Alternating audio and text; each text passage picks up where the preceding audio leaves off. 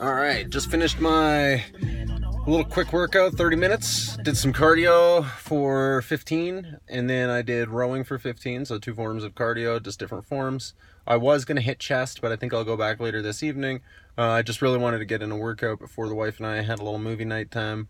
Uh, you know how it is. But I did say I was going to work out every day, so it's really important for me, no matter what, to at least at the minimum do cardio and stretching at the gym. And the logs don't lie, so we'll just see how it works at the end of the year.